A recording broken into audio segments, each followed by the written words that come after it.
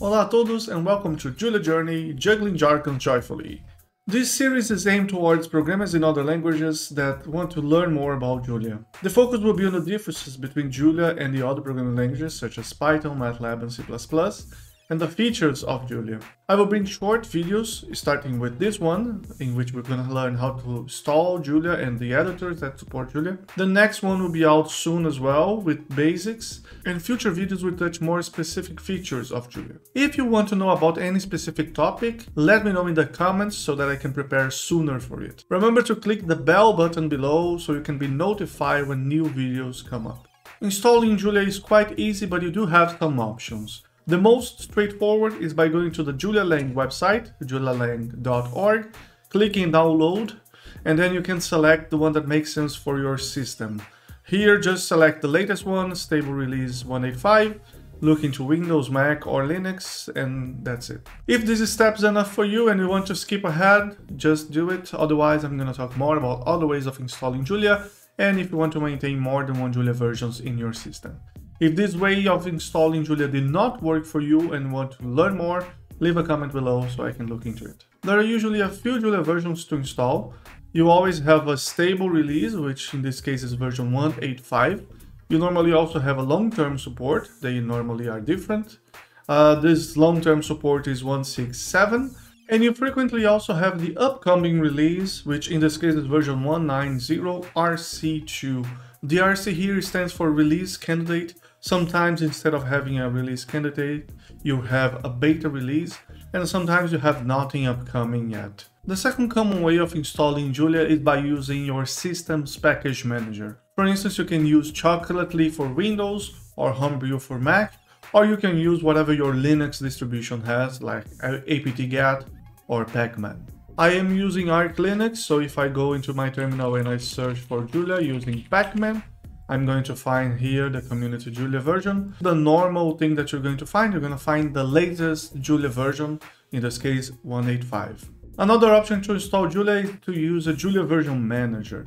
So I created Jill, which is a Julia installer for Linux, Lite, J-I-L-L, in 2017, and I've been maintaining it since. I use it to keep of different versions of Julia in my computer, but also to just download the latest version quite easily. If you want to use Jill, you can just go to github.com slash abelsiqueira slash Jill, J-I-L-L, and you can run this command here.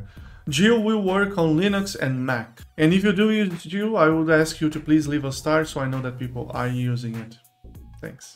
The Julia maintainers are also maintaining Julia Up, which is a Julia version manager that supports Windows.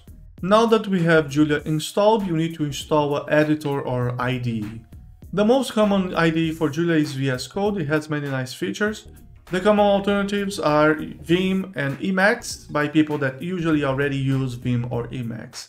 If you don't have any preference and you are not using any of these editors, I would recommend you to use VS Code for your package development or script development. To make VS Code work with Julia, you want to install an extension. So click here on extension and search for Julia.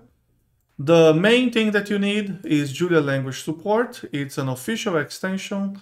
Uh, this is the only extension that you actually need. If you want, you can install the color themes and a formatter, but these things are not necessary for your usual development.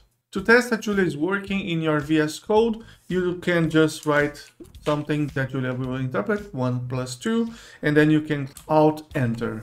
The Julia language server should start and then a terminal will open. The first time that you run this, it's gonna precompile the VS Code server, so it takes a little longer. Uh, also, if you have things like the environment for Python, this, there is some kind of mix but uh, unfortunately I don't know how to fix this and it doesn't bother me so much. The second time that you press Alt Enter, it just works normally. You can see here the tree, you can see here the tree, it's working. If it doesn't work, one of the common issues is the path for Julia. So open the settings, you can just press Ctrl comma, then you can search for Julia path. And here in the executable path, you might have to fix or update something according to the path in your system. Many people also use notebooks when developing for Julia. The Jupyter notebook will work with Julia, you just have to install the IJulia kernel. We're not going to be using Jupyter too much, but just so you know, the Ju and Jupyter stands for Julia. So this was already planned for a long time that Jupyter would work for Julia. The notebook that we're going to be using mainly is Pluto, and Pluto is a dedicated notebook for Julia. So let's install Pluto first. So to install Pluto first, you have to open the Julia terminal. In my case, I can just type Julia in my terminal and then you're gonna press the close brackets key. So I'm looking for this key here, the close brackets. When I press the close brackets, the Julia prompt, which is this thing here, is gonna change to say package. We're gonna talk much more about package in the future, but for now we just want to write down add Pluto. The P is uppercase, the rest is not. Enter and it's gonna install Pluto. I have Pluto installed already, so it doesn't do anything except check that Pluto is not in need of an update. After Pluto is installed, we can just backspace and go back to the Julia terminal. And now whenever you need to run Pluto, you open the Julia terminal and you write using Pluto. The first time it's gonna precompile Pluto as well. And then you just run pluto.run. That's it. Your browser should automatically open this Pluto page after you run pluto.run. Here you're going to see all the notebooks that you already have, in my case a lot, in your case maybe none, and then you're going to create a new notebook. So the main difference of Pluto and Jupyter is that Pluto is reactive. That means that when you write something like x equals 1 and use that x somewhere else, the value of x is updated throughout the notebook whenever you change it. So here I'm changing x to 3. I can press play to run this and then x plus 2 becomes 5. I could change this to minus 1. I can press Ctrl Enter to run this and it gets updated here. If I change to 0, I press Shift Enter, it runs in place and this gets updated. Uh, by the way, I can also just save the notebook and the whole notebook is saved so if I say x equals 100, Control S for saving, this becomes x plus 2 equals 102. The order in which these things are defined does not matter, so I could move the cell to a position below, I could move all of my hard cells to a hidden place in the bottom and leave the cells up here. I can also hide the actual code using this uh, I I can show or not the code and I can also write markdown code. Actually to write markdown code you can start writing whatever you want, this title and you can press Ctrl M and this becomes a markdown uh, variable. So MD triple quotes and then end with a triple quote is a Julia thing to convert this code to a markdown value. Pluto has a constraint, it doesn't let you write more than one command in a cell. So if I want to say z equals 1, z plus 1, and I press Ctrl Enter, it will give me an error. It will say multiple expressions in one cell. This is the error. So I can fix it in two ways, and it's telling me how to fix it. I could split this cell into two cells, like this, right? x equals 1 is z plus 1 or I can also just do a begin end. Begin end is actually one command.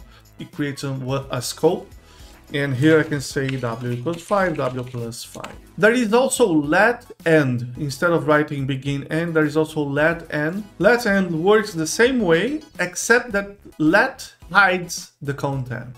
So here I define W, I define Z here in the global, I guess, workspace. So if I try to do z times w, this works. But if I try to use v, it does not, because v is not defined. So if you want to write something that you're, you're not going to need anywhere else, use let so you don't pollute your workspace. Pluto also installs things for you automatically, so if you go here, I normally put all of my using on the top, and you say using plots. And if you run or save this, it's gonna start to download the plots package. Automatically installs plots for you in a separate environment, so it doesn't pollute your main environment either. By the way, we're gonna talk about environments in a future video. That's it for now. I hope you have enjoyed this video. Please like and subscribe to support the channel and I'll see you next time. Ciao.